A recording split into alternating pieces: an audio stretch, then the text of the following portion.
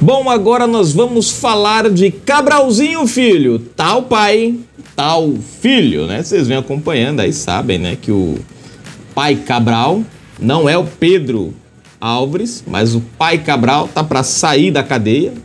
Falta só o voto do Mendes, gente. E conhecendo o histórico de Gilmar Mendes, Cara, vai ser uma coisa doida se ele optar para manter o Cabralzinho lá dentro. Eu vou dizer, eu, eu vou falar, cara, ele deve ter deram alguma coisa para ele, ele, né? É praticamente 99,9% garantido que Cabral vai sair. Apesar que é só hoje, tem até hoje para o, o Gilmarzinho decidir. No entanto, o vamos falar aqui é do filhote de Cabral, ou quer dizer, do filho de Cabral. Mas vamos para os comentários aqui rapidinho para ver o que o pessoal tá comentando aqui nos bastidores. Deixa eu ver. Alex Rocha, grande Alex, comentou aqui: "Vamos sentir saudades do Bolsonaro". Ele comenta aqui, ó, justamente nesse vídeo, ó. Indicado para o Ministério do Trabalho por Lula, Luiz Marinho é condenado por nepotismo cruzado, né? E aí eu me lembrei agora, era para ter me lembrado na matéria, Alex, mas eu me lembrei agora que o PT tentou acusar Bolsonaro naquela diplomação, na diplomação não, né, na indicação de Flávio Bolsonaro, lá do Flávio não, do Eduardo Bolsonaro à embaixada nos Estados Unidos, né? E tentaram acusar o Bolsonaro de nepotismo, quando na verdade uh, o, o, embaixador ele é votado, ele não é escolhido, ele tem indicação e depois é votado, né? No caso aqui do rapaz aqui não foi votado, ele simplesmente eles deram emprego, né? E aí você vê, os caras acusam Bolsonaro ali de nepotismo, tentaram puxar um gancho para a esposa do Bolsonaro no tempo também, e agora escolhem para colocar no Ministério do Trabalho um cara condenado por nepotismo. Olha que coisa irônica, né, do PT. Agora o engraçado é que a mídia, ó, Boca de Siri. Filho do ex-governador Sérgio Cabral deixa a prisão. Bom, ele foi preso há dias atrás. Olha só que engraçado. O cara envolvido em pilantragem entrou esses dias, já saiu.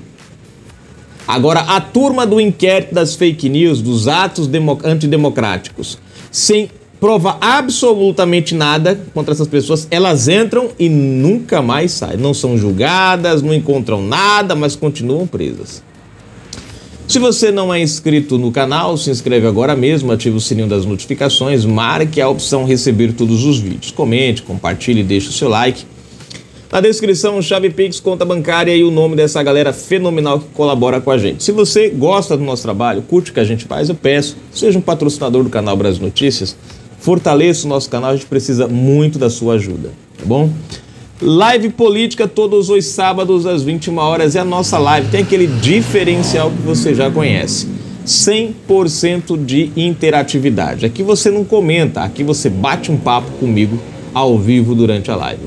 No final da descrição também você vai encontrar o link do nosso grupo lá no Telegram, link de convite do grupo no Telegram. Basta você pegar esse link né? E lá no Telegram, Prey já está entrando no nosso grupo, tá bom? E lá você acompanha todas as matérias que são postadas durante o dia no YouTube. Às vezes o YouTube não manda um ou outro vídeo, lá você confere o que faltou.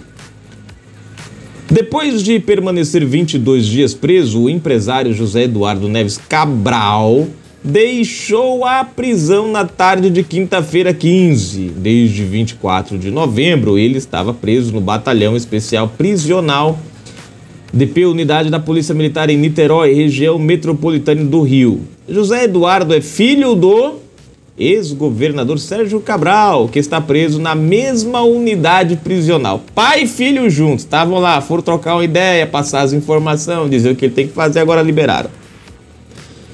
A decisão de soltar o filho de Cabral foi da juíza titular da Terceira Vara Federal Criminal do Rio, Rosália Monteiro. O processo está em segredo de justiça. Em nota, a assessoria de imprensa da Secretaria de Estado de Polícia Militar informou que o empresário foi libertado em cumprimento ao avaral judicial. Tá em sigilo, a gente. A única coisa que a gente sabe é que o cara entra e que o cara sai. Agora os motivos, ó, psh, todo mundo calado. Ele tem um negócio sigiloso miserável. O empresário teve a prisão preventiva decretada no âmbito da Operação Smurfing, deflagrada em 23 de novembro pela Polícia Federal e pelo Ministério Público Federal, MPF. José Eduardo se entregou no dia 24 na Superintendência da Polícia Federal na Praça Mauá. Depois de passar por audiência de custódia, teve prisão mantida pela Justiça e ficou detido no DP. Hã? Com a finalidade de desmantelar uma organização criminosa armada e transnacional especializada em comércio ilegal de cigarros, segundo a Polícia Federal, a operação teve apoio da Agência de Investigações de Segurança Interna dos Estados Unidos, HSI na sigla em inglês. Você vê. E o cara é solto. E o cara é solto. Nos crimes do Moraes não tem investigação, não tem o crime, mas todo mundo é preso e ninguém sai mais. A investigação iniciada em 2020 indicou a ação reiterada de um grupo criminoso entre 2019 a 2022 que falsificava, emitia notas fiscais, transportava e comercializava cigarros oriundos de crime em territórios dominados por outras organizações criminosas como facções e milícia. E depois é Bolsonaro que é ligado com milícia, gente. Tá aí, ó, quem são. Né? Tá aí. Mas a mídia vai. Será que a mídia vai falar alguma coisa, gente? Outras 12 pessoas foram presas na operação. Segundo a PF, o grupo investigado é responsável por causar prejuízos à União de cerca de 2 milhões de reais. Uh, tá aí. Filho saiu, né? Filho saiu, papai não deve demorar a sair também, acredito eu. Deixa eu ver aqui. Deixa eu. Ah, comentário, né? Vamos para os comentários, gente, aqui agora. Deixa eu ver quem vai aqui. Meu amigo Alex Rocha. Ele comentou aqui. Bom dia! Bom dia, Alex. Como é que você tá, meu irmão? Infelizmente o sonho acabou Cadê? Infelizmente o sonho. Zizia colocou aqui, acabou com a rejeição do processo do STM. Os generais, os generais se recusaram a entrar nessa confusão.